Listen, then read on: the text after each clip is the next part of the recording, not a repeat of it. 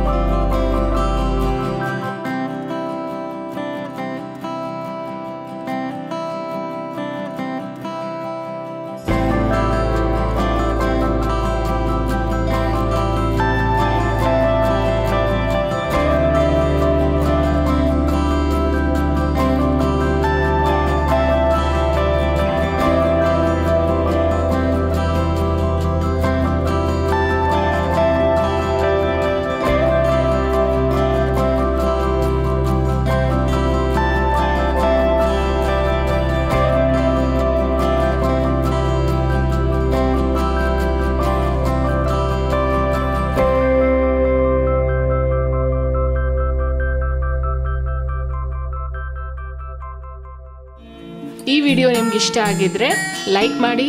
subscribe ಮಾಡಿ share ಮಾಡಿ